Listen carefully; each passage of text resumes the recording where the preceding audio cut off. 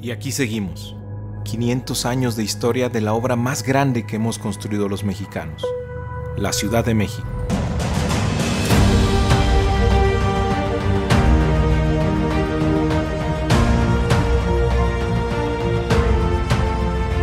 De la gran Tenochtitlán a la ciudad de los palacios, hoy vemos con asombro a grandes gigantes de acero que nacen del centro de la tierra y alcanzan alturas insospechadas, perfilando la cara más moderna de la capital. Orgullosos de nuestra querida ciudad, subimos a la emblemática Torre Latinoamericana. En su época, obtuvo el récord como el rascacielos más alto del mundo fuera de Estados Unidos. Desde el mirador de este edificio vemos la Alameda, el primer parque de América.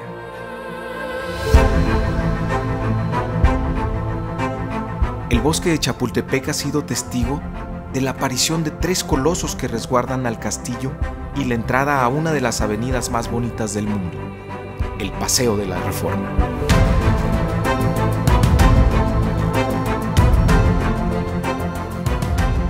Con sus 245 metros y 57 pisos, la Torre Reforma es el edificio más alto del país.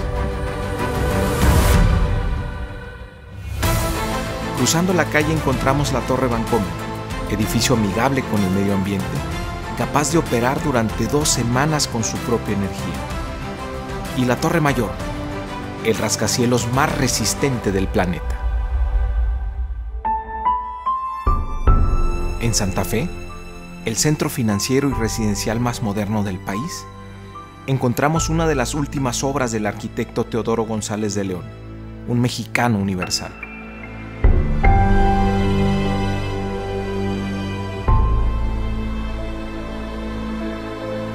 Hay edificios que nos recuerdan que nuestra ciudad resiste. Hay otros en los que podemos disfrutar de obras catalogadas como patrimonio cultural de la humanidad. Nos hemos convertido en la capital financiera de América Latina y en el corazón de la cultura del continente. ¿Cómo será la ciudad de nuestros hijos? La estamos construyendo hoy entre todos.